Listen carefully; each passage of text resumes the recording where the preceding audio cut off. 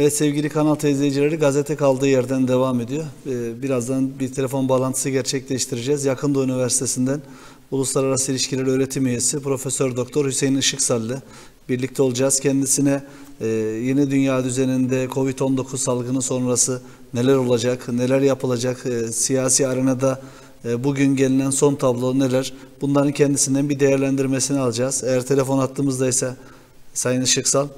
Sayın Hocam hoş geldiniz yayınımıza. Hoş bulduk. Ee, evet efendim nasılsınız, iyi misiniz? Öncelikle onu soralım. Sosyal izolasyon nasıl gidiyor? Teşekkür ederim Mahmut. Ee, tabii ki e, zor bir süreç herkes için, bizim için de zor. Ee, ben kendi adıma işte haftanın 3-4 günü spor yapan biri olarak e, evde kapalı olmak tabii ki çok iyi olmadı. E, adapte olmaya çalışıyoruz.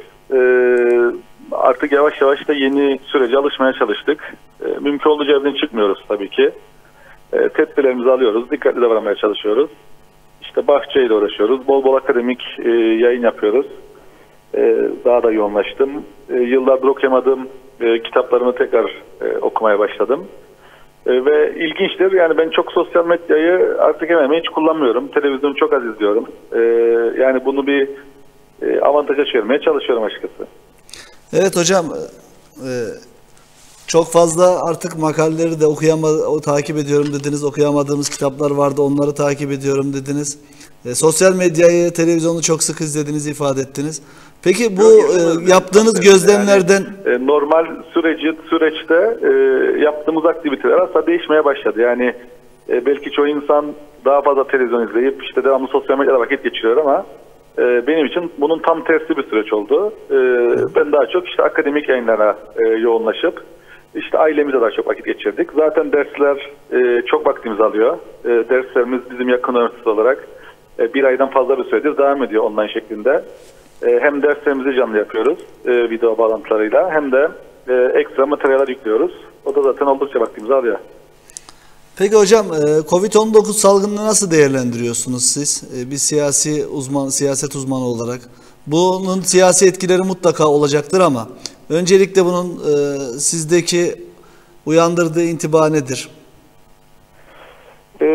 Şimdi Mahmut'cum bu konuda çok tabii çok konuşuldu. Herkes konuştu açıkçası. Yani bir bilgi kirliliği de ortaya çıktı. Ee, tabii ki böyle durumlarda e, öncelikle e, sağlıklı bilgiyle komplo teorileri bazen birbirine karışır. E, ulusal şehir de ulusal dalında da komplo teorileri kısmı aslında daha çok ilgi çeker pek çok açıdan. Evet. Tabii ki çok e, şeyler ortaya çıktı ama yani bir, biraz sebep sonuç ilişkisinden belki gidersek daha sağlıklı olur diye düşünüyorum ben. E, şimdi küresel anlamda baktığımızda yani bundan e, herhalde e, etkilenmeyecek ülke yoktur diye düşünüyorum. Yani e, belki ilk başlarda komplo teorisinden yola çıkarsak e, belki Çin hedef alınmıştı deniliyor. E, ama Çin bile hedef alınmış olsa e, günün sonunda e, şunu gördük. İlk kor- koronavirüsün sonucu şuydu. E, gerçekten küresel bir dünya yaşıyoruz. Yani bunu çok sık dile getirilirdi. E, ama artık bunu net bir şekilde ortaya e, orta ortaya çıktı ki e, hiç kimse güvende değil. Hiç kimse istediği kadar duvarlarını yüksek yapsın, istediği kadar sınır kontrolü yapsın, e, isterse vize vermesin. Yani hiç kimse güvende değil. E, bir İngiliz vatandaşının e, işte bir haftada e, binlerce kişi nasıl koronavirüsü bulaştırdığını gördük. Yani Evet. ee, işte zengin bir iş adamı Hong Kong'dan çıkıyor, Çin'e gidiyor, Çin'den çıkıyor, İsviçre, Asya'ya gidiyor, Avusturya'ya gidiyor, e, koronavirüs olduğunu bilmeden. E, yani e, şunu gördük, gerçekten küresel bir köyde yaşıyoruz. Bu birinci etkendi. İkinci olarak, e, evet Çin'in e, biraz daha fazla darbe alacağını söyleyebilirim. Çünkü e, Çin biliyorsunuz ihracat, ihracat üstüne kurulu bir ülke. Her şeyi ihraç ediyorlar. E, tabii doğal olarak Çin mallarının ihracatına bir azalma oldu ticari denge açısından. Bu kısa vadede Çin ekonomisine ciddi bir zarar vermiş olabilir. Diğer ekonomiye de verecek tabii ki. Ama Çin ekonomisini sadece Çin olarak görmemek lazım. Çünkü bugün Çin'i suçlayan kesimler aslında kendi açgözlülüklerini gizlemeye çalışan ülkeler. Yani bugün isteseler kendileri de üretebilirler o malların çoğunu kendi ülkelerinde Evet. rahatlıkça. Ama onların e, derdi o değil tabii ki. Onların derdi e, bir malı en ucuza üretip e, üstünden daha fazla kar elde etmek. Yani bundan dolayı Çin'i günahçısı olarak görmemek lazım. Orada Çinlileri işte ucuz iş gücü kullanarak, ucuz teknoloji kullanarak e, yine Batı ülkelerinin e, daha fazla para yapma derdi aslında. Bütün aç gözlüğün sebebi bu. E, tabii bu noktada e, Çin'den devamlı olarak e, gerek ham madde alan gerek üretim işme alan ülkelerin de yani e, açıkçası kolaya kaçmaya çalışan ülkelerin de e, bundan çok zarar göreceğini göreceğiz. Bu net bir şekilde ortaya çıkacak. E, ve yerli üretimi olan ülkelerin e, bu süreci daha az sıkıntıyla atlattığını göreceğiz. Evet, e, şimdi şunu da e, sormak istiyoruz. Bunun Avrupa üzerindeki etkisi ne olacak? Avrupa Birliği'nin e, artık eskisi kadar e, sınırlar konusunda almış olduğu kararlar var. E, şunu söyleyebiliriz. Mesela her ülke kendi sınırlarını kapattı.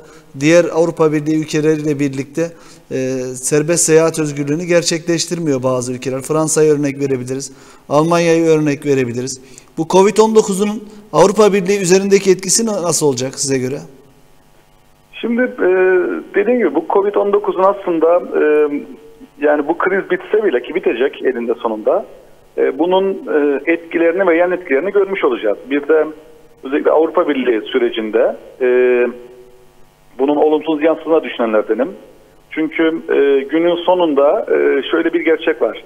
E, her ülke e, çıkarları çakışında sadece kendini düşünür. Yani Avrupa Birliği'nin temel felsefesi ülkeler birliği değil halklar birliği üstüneydi. Ve bu çok iddialı bir e, argümandı. Çünkü devlet dediğiniz şey e, sonuçta e, kendi halkı için uğraşan bir birim ama eğer siz halkı alırsanız esas e, merkeze o zaman devletin çok bir önemi kalmaz. Yani siz e, bu felsefeye göre söylüyorum. Bu Kantçı felsefeden gelen bir görüş açısı aslında. E, Kant'ın kozmopolit görüşünden gelen bir görüş. Yani e, hiçbir halkın diğerine bir farkı yoktur. Ben bir Belçikalı olarak neysem bir İngiliz'in daha değersiz değilim ya da bir Hollandalı'dan bir Alman'ın daha değersiz değilim. Bir Lüksemburglu benimle aynı değerde. Yani tüm Avrupa Birliği'nin halkları aynı değerde mantığının üst tarafa yani e, siyasetin siyasete yansıması olarak değerlendirebiliriz Avrupa Birliği'ni. Ama şu anda neyi gördük? Bir e, işte nefes e, korona için kullanılan nefes alım aracı için bile neredeyse savaş çıkacağını gördük. Evet. Ülkelerin ne kadar e, bencilleştiğini gördük. Ne kadar kendi sınırlarını kapatmaya, düzenlemeye gittiğini gördük. Belki e, bu süreç daha da ileri gitseydi daha otokratik yani Avrupa Birliği'nin gene temel prensibi olarak iddia ettiği e, demokratik e, uygulamaların çok çok ötesine de geçirebilecekti.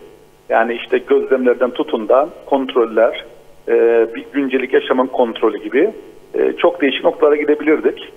Yani bu süreç şunu gösterdi. Artık Avrupa Birliği'nin o halk halkın felsefesi işte bütün halklar eşittir. E, devlet e, üst e, kimlik değil, üst politika değil, alt politika önemlidir. Yani halk önemlidir felsefesinin e, gittikçe artık e, daha romantik bir şekilde e, sadece romantik anlamda bir akademik tartışmaya doğru kaydığını ama siyasi gerçeklerin bunun tersine doğru gittiğini görüyoruz. Bu süreçte bunu ciddi anlamda güçlendirir diye düşünüyorum. Tabii şöyle çok hızlı yorum yapmaya gerek yok. Yani işte koronavirüs Avrupa Birliği'ni dağıtacak falan diye böyle bu kadar çok heyecanlanmaya gerek yok ama o, şeylerin e, uzlaş, uzlaşmaz olan noktaların daha da belirginleşmesinde, e, çatlakların daha da e, ortaya çıkmasında e, önemli bir ayna görevi gördü koronavirüs. Özellikle İtalya ve İspanya'dan e, şikayetler vardı Avrupa Birliği'nin güçlü ülkeleri Almanya ve Fransa'ya karşı. E, İtalya'da bazı parlamento binalarından e, Avrupa Birliği bayrağının indirilip İtalyan bayrağı çekildiği, ona keza Rus askerlerinin İtalya'da e, tıbbi yardım adı altında İtalyan sokaklarında gezmesi, Rus askeri zırhlılarının bulunması. Bunlar acaba gelecek dönemde e, birlik içerisinde yeni bir çatırdamayı da getirir mi size göre? Ya zaten e, Avrupa Birliği'ni e, ciddi anlamda çatırdamaya başladı. Yani bu yeni bir süreç değil. Bu çok eski bir süreç. E, bu örneğin e, Kıbrıs'a da bağlarsak bizdeki e, Avrupa Birliği e, hayranları diyelim e, bu süreci ısrarla görmezlikten geldi. Yani bugün Avrupa'da aslında e, entelektüel bazında baktığınızda, düşünür bazında baktığınızda e, AB'yi destekleyen insanların sayısı çok azdır. Yani gerçekten çok minimum sayıdadır. E, hemen hemen bütün entelektüeller, bütün bilimsel hareketler, hatta e, yeni kurulan tüm eleştiriler, partiler bile işte 5 yıldızdan tutun da İtalya'dan e, işte korsan hareketine kadar, e, İspanya'daki e, hareketlere kadar e, bunların hepsinin aslında Avrupa Birliği e, mantığının e, aleyhine kurulduğunu görüyoruz. Şimdi bu kadar çok eğitimli ABD'de yaşayan insanlar Avrupa Birliği'ni eleştiriyor da e, bizim gibi dışarıda üye olmayan, üye olmaya çalışan e, kesimler nasıl bunu göremiyor? Tabii o da ilginç bir ironi. E, şimdi bu kesimler hangi eleştirileri getiriyorlar? E, bu eleştiriler şunu getiriyorlar. Bir kere Avrupa Birliği adil bir düzeni temsil etmiyor. Yani Avrupa Birliği'nin içinde merkez ülkeler var ve e, periferi dediğimiz çevresel ülkeler var. E, merkezi ülkeler çoğu şeye karar veriyor. İşte Almanya ile Fransa başta olmak üzere. E, çevresel ülkelerde yani bu hem coğrafi olarak çevreselliği hem de güç olarak çevreselliği e, temsil ediyor. Ve e, rastlantı bence rastlantı değil. Bu çevresel periferi olmakla güçsel periferi olmak aynı şeyi kastediyor. Yani bugün İspanya, Portekiz, Yunanistan gibi Avrupa Birliği'nin en son hatta İtalya e, yani dış sınırlarını temsil eden güçlerin aynı zamanda güç olarak da merkezden ne kadar uzak olmasının aynı şekilde denk geldiğini görüyoruz. Bu ilginç bir tesadüf. Ve bu noktada merkez ülkelerin çok fazla gücü olduğunu, e, merkezi ülkelerin Avrupa Birliği'ni, kendi mallarını e, özellikle satmak için yani sınırların kalkıp e, her türlü işte verginin, gümrüğün kalkması için e, kullandıkları bir sistem olarak görüyorlar. Ve şunu söylüyorlar, e, merkez gittikçe zenginleşirken e, çevre gittikçe fakirleşiyor. Şimdi temel argüman bu tabii ki. Bunun Evet. dışında yine tabii pek çok şey var. Yani ırkçılıktan tutun da e, Avrupa Birliği'nin kendi içinden olmayanlara karşı e, ne kadar gaddar davrandığına dair de tartışmalar var. E, öte yandan son e, mülteci kriziyle yine Avrupa'nın çirkin yüzünü de görmüş olduk.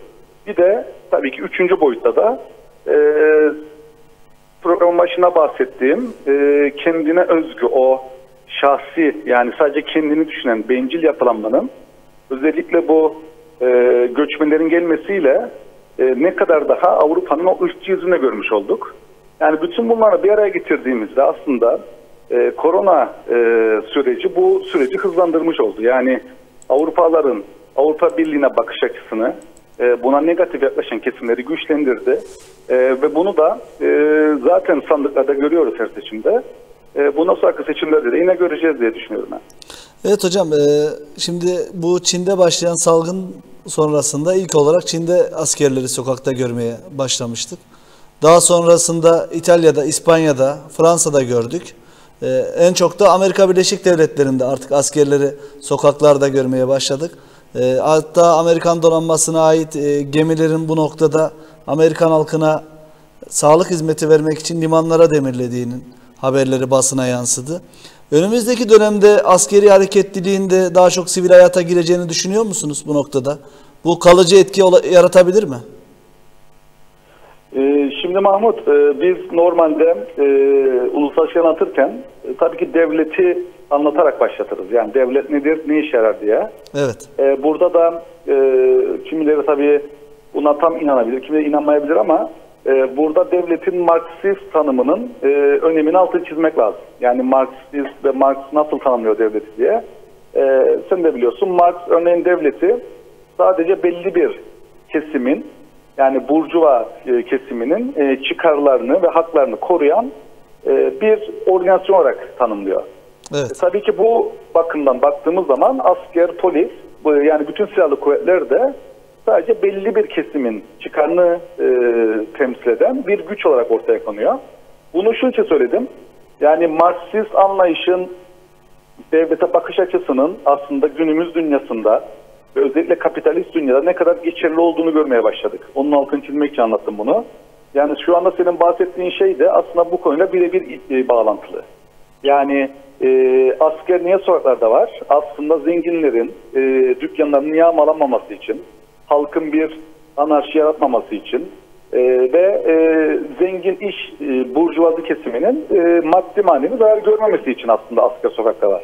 E, polis de aynı şekilde. Yani normal insan e, polisin, askerin görevi aslında sıradan insanları ya da e, toplumun alt kesimini korumak değil. Tam tersine e, yönetici kısmı, üst kısmı korumak için bu insanlar sokakta. E, tabii ki bu süreç dediğim gibi yağmalama olaylarına eğer gitseydi ki bu noktadan sonra çok sanmıyorum. Çünkü artık yavaş yavaş geriye doğru giriş başlayacak diye düşünüyorum ben. Çünkü hastalık artık zirve yapmış durumda.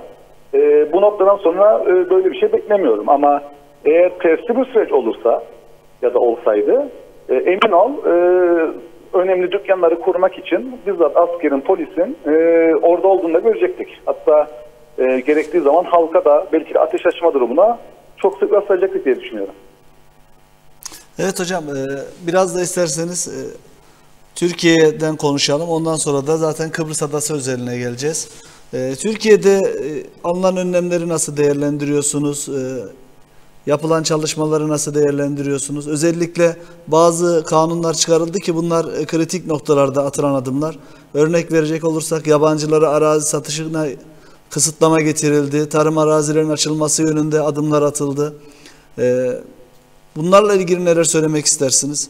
Ve şunu da ekleyelim. E, Türk Silahlı Kuvvetleri'nde celpler bir ay uzatıldı. Malum yeni birliklere asker gelmeyeceği için terörist durumundaki askerlerin ve tayin durumundaki askerlerin de e, süreleri bir aylığına uzatıldı. Bunları bir toparlayacak olursak Türkiye'deki önlemleri nasıl buluyorsunuz?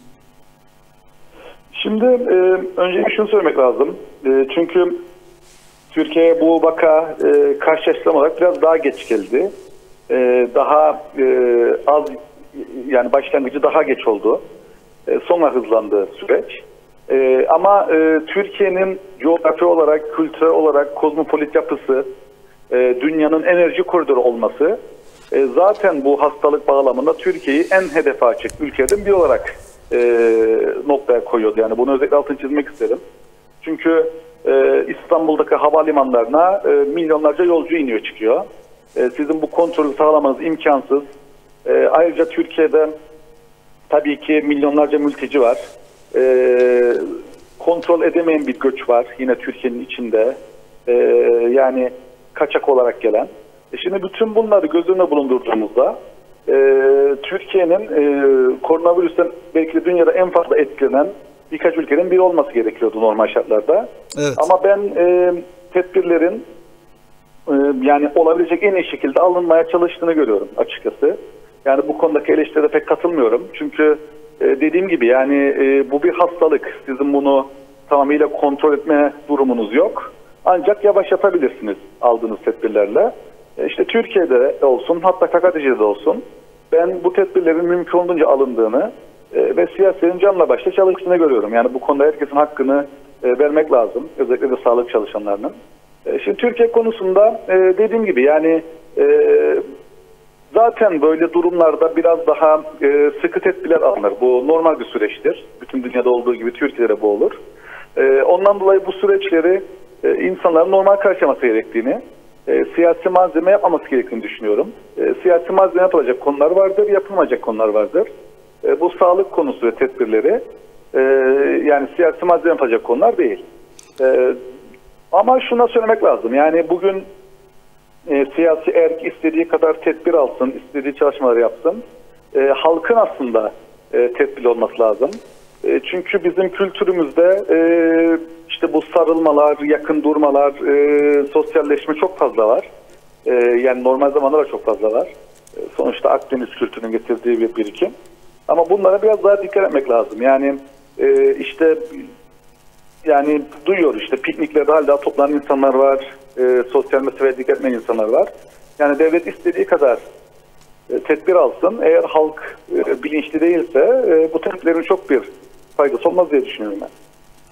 Evet hocam. Diğer e, gelince onu da söyleyeyim. Ben olumlu karşılıyorum. Yani e, yabancılara toprak satımından tutun da diğer şeyler e, bu bu an için son derece e, normal koşullar, anlamlı koşullar. Hatta yani benim kişisel görüşüm yabancılara mal satımı e, her zaman zaten belli sınırlarda bulundurmaz diye düşünüyorum ben.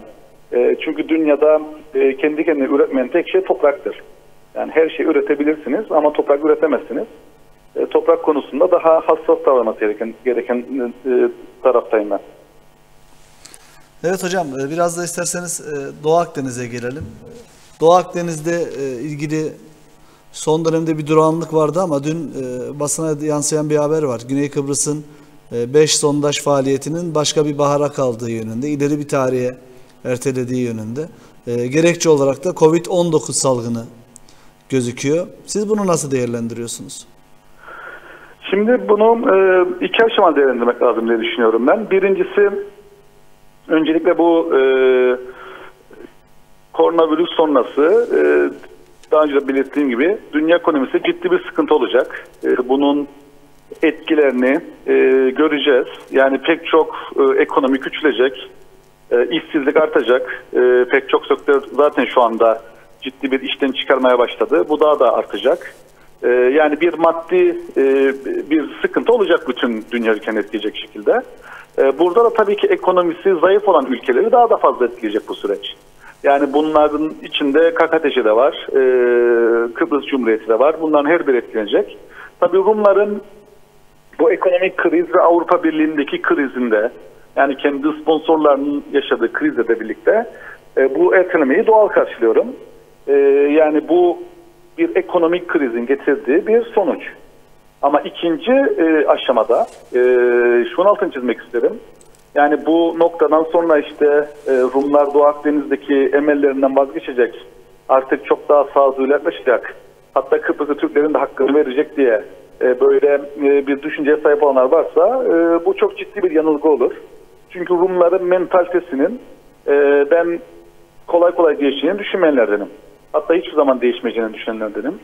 Hala daha Rumlar bu e, Doğu Akdeniz'deki tabi Yunanistan'la birlikte ikisini bir arada almak lazım.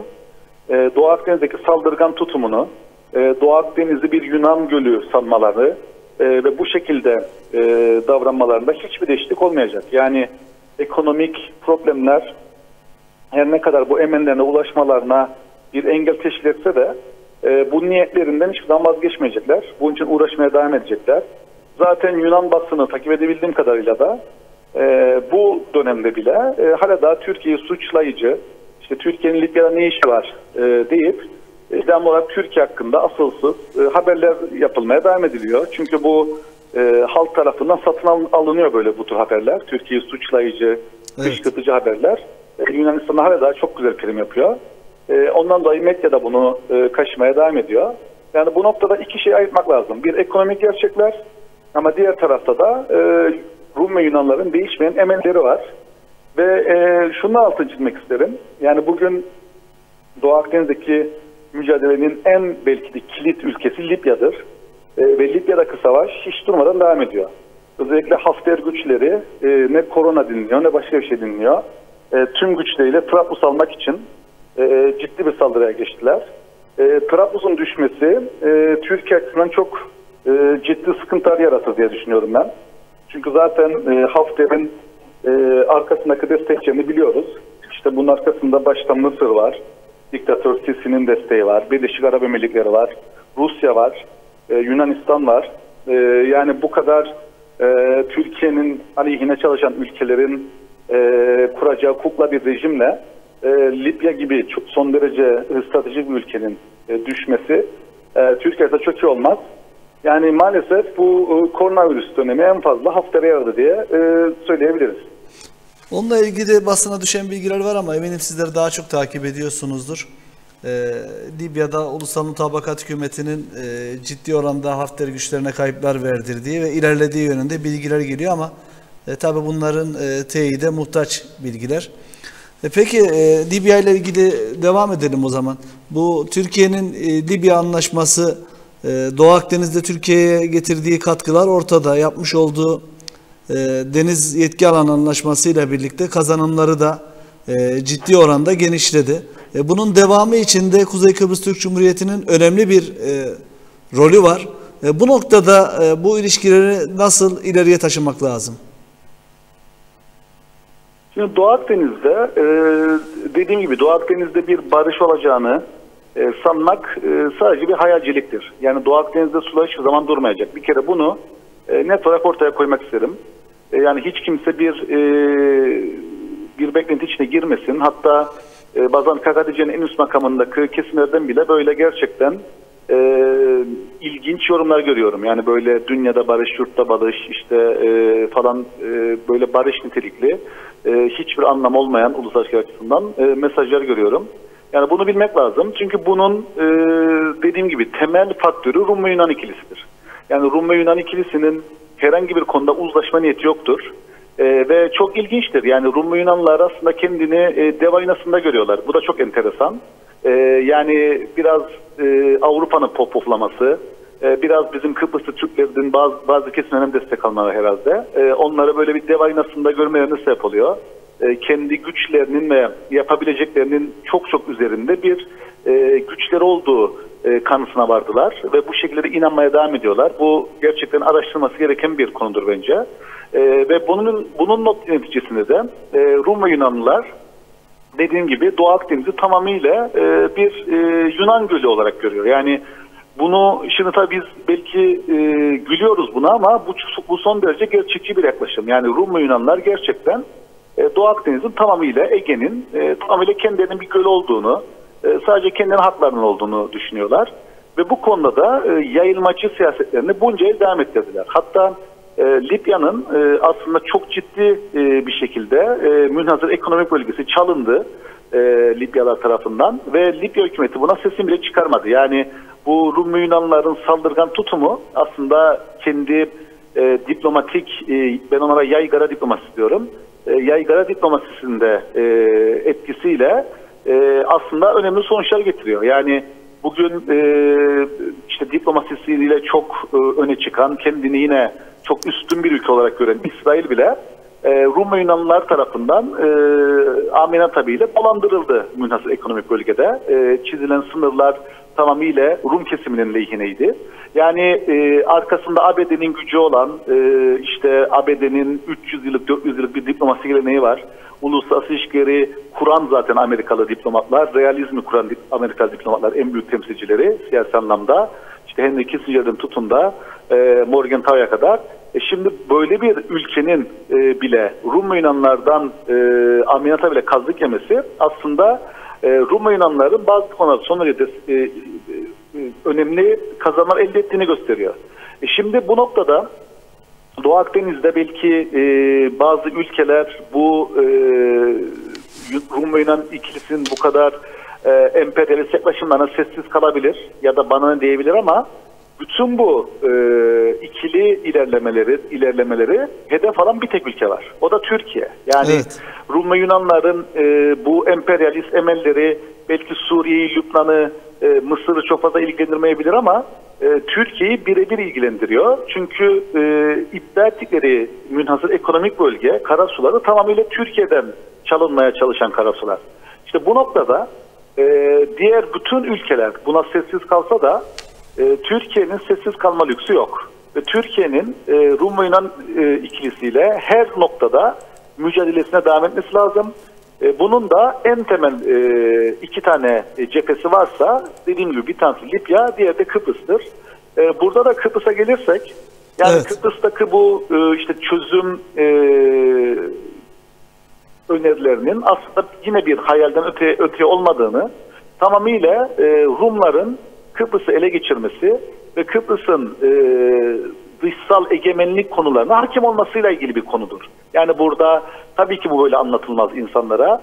E, belli sponsorlar neticesinde e, paralar dağıtılır, değişik argümanlar getirilir. İşte sanki insan özgürlüğüne önem verilecekmiş, sanki herkes Avrupa Birliği'ne girecek ve eşit olacakmış gibi bir hayal yaratılır. İnsana böyle kandırmaya çalışılır ama günün sonunda aslında bütün olay e, federal hükümetin yani Rumların domine edeceği federal hükümetin e, karasularından tutun da münhasır ekonomik bölgeye kadar dış anlaşmalara kadar e, tek hakem olacağı yapılanmadır.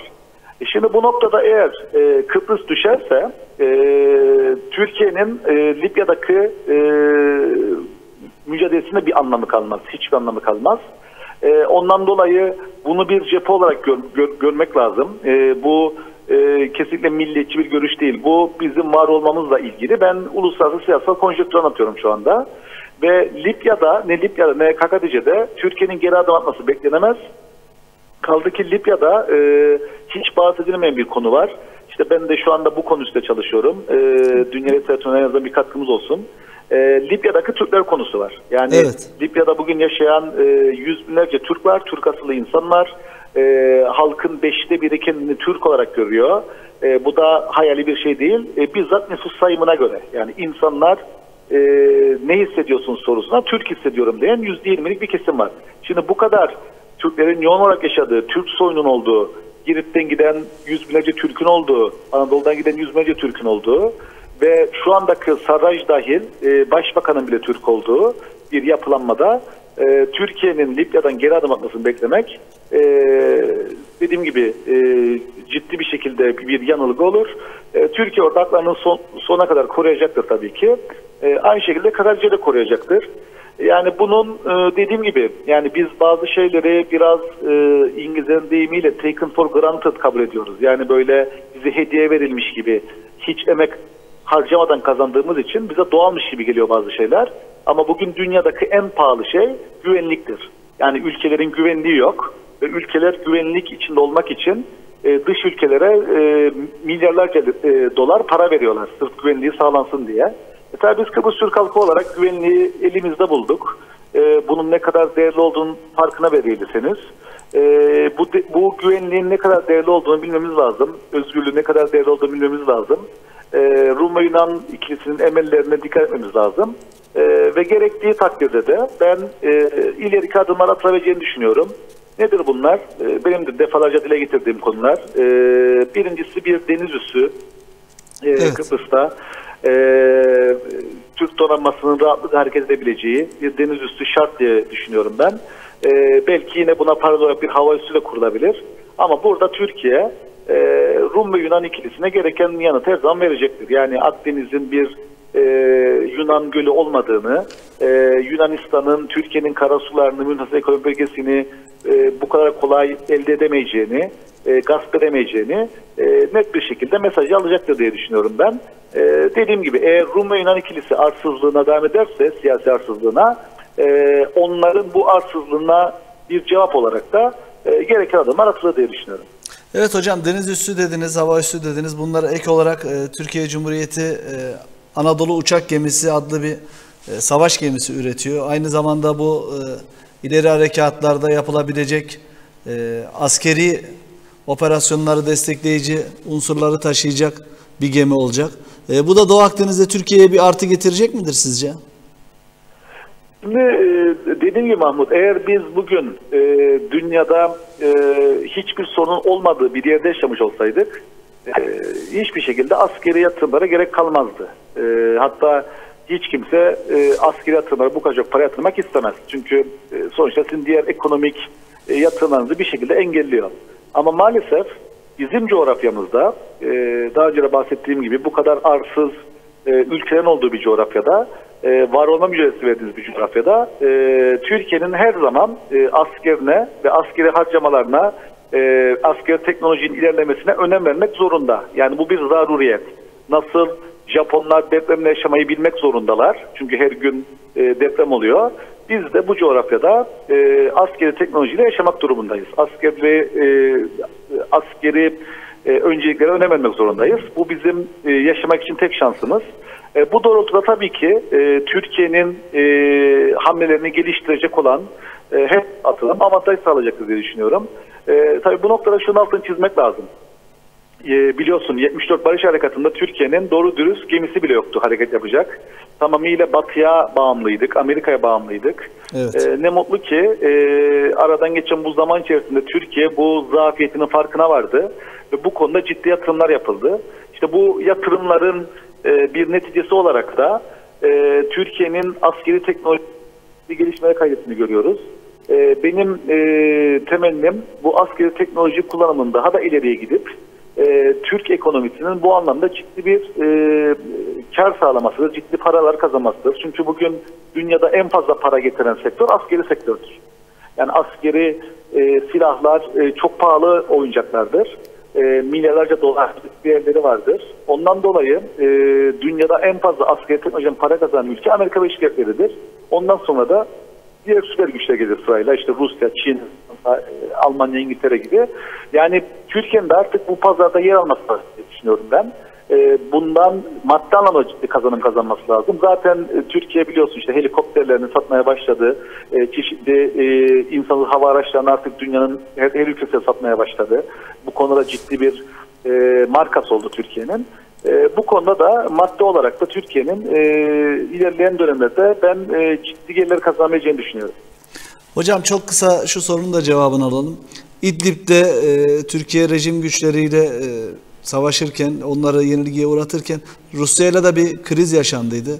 E, Sayın Cumhurbaşkanı Recep Tayyip Erdoğan Rusya'ya gitti. E, Moskova'da Rus lider Putin'le bir araya geldiler ve sonrasında bir mutabakat metni ortaya çıktı. Siz konuşmanızda şunu da belirttiniz. Libya'da dediniz e, Rusya da Hafter güçlerini destekliyor.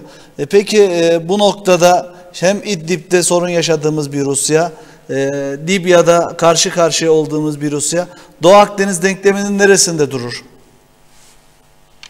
Ee, çok güzel bir soru Mahmut. Ee, teşekkür ederim. Gerçekten çok güzel bir noktaya değindi. Şimdi e, bizim e, genellikle Türkiye'deki siyasi bakış açısı e, ve siyasi diplomasi geleneğinde e, çok siyah beyazcılık vardır. Yani ya siyah ya beyaz bakarız olaya. Hiç ort orta renklerden bakmaya çalışmayız. İşte Türkiye'nin Rusya'yla ilişkileri de e, bu noktada oldu. Yani yıllarca bir tamamıyla olumsuz bakılan bir Rusya'ydı. Sonra e, Batı'nın e, özellikle Rum Yunan ikilisi verdiği destek, e, Amerika'nın, e, Türkiye'nin e, en büyük e, güvenlik endişesi olan PKK ve YPG'ye açık destek vermesi gibi pek çok faktör e, Türkiye'yi Rusya'ya yaklaştırdı.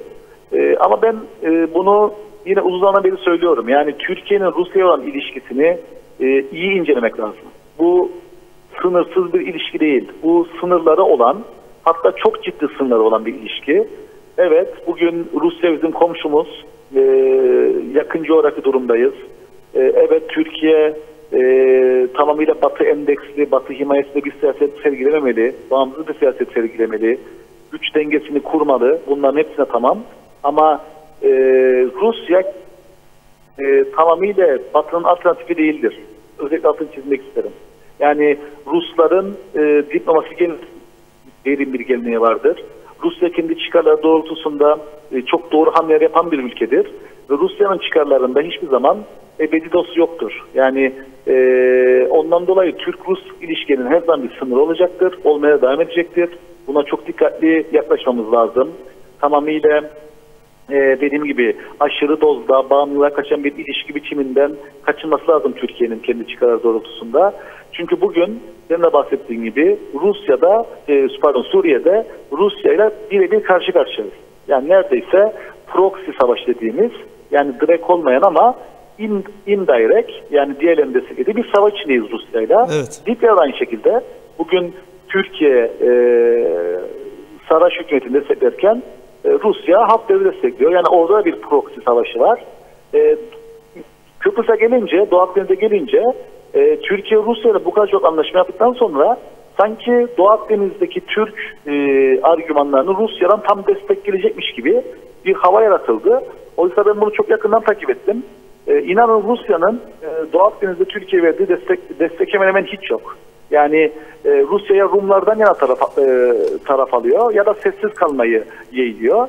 E, bu tabii Türkiye'nin istediği bir şey değil ve e, belki e, Rumların Ruslara e, askeri üst vermesi, bazı özel anlaşmalar yapması durumunda Ruslara da karşı karşıya gelebiliriz.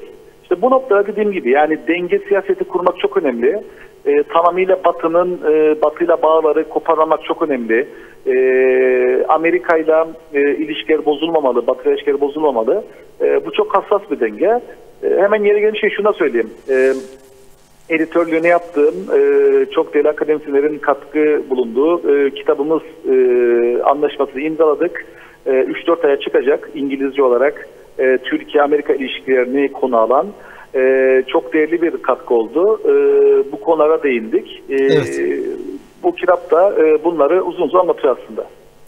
Evet hocam çok teşekkür ederiz. Varsa son e, cümlelerinizi de alalım.